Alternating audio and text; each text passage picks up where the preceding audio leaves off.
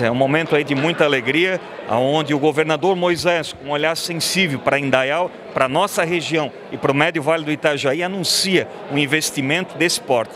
A ligação Indaial-Ascurra ela vai facilitar o trânsito de acesso à nossa região, sendo uma via paralela da BR-470. É um sonho antigo da nossa comunidade, há anos, né, Indaial, Ascurra, a região pleiteiam essa obra e agora com o apoio do governador Moisés, do deputado Milton Obos, de todos os nossos dos secretários é, de governo, a gente consegue concretizar esse sonho aí para a nossa comunidade de Indaial e de toda a região.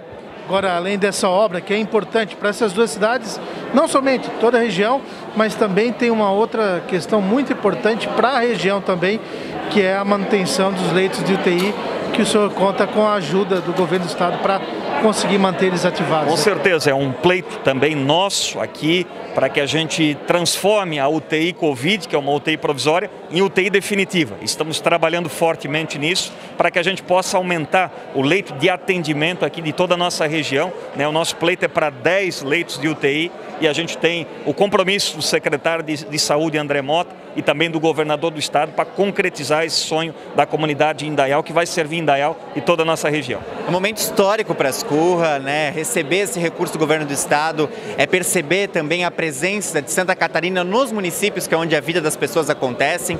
É um convênio de 20 milhões de reais, que representa o orçamento de um ano inteiro da nossa prefeitura. Se nós retirássemos só a quantia que sobra para novos investimentos, que é cerca de 500 mil reais por ano, eu levaria pelo menos 40 anos para conseguir fazer uma obra desse tamanho, dessa magnitude. Então vai trazer mais desenvolvimento econômico e social para nossa cidade, vai trazer desenvolvimento para o turismo, porque por ali passa o cicloturismo, a gente sabe hoje que o Vale Europeu é um dos destinos turísticos mais visitados do sul do Brasil, então sem dúvida alguma é um momento único, histórico, é a maior obra da história de Ascurra sendo viabilizada em parceria com o governo de Santa Catarina e a Prefeitura de Indaial. Agora, prefeito, é um investimento importante, mas sempre há pleitos, né? Tem algum outro pedido que o senhor aguarda do governo do estado uma resposta? Qual o principal pleito, não somente também do governo do estado, mas do governo federal aqui para a cidade de Ascurra? Bom, nós temos várias pautas, pautas prioritárias que foram elencadas junto com a nossa comunidade, junto com o poder legislativo, né?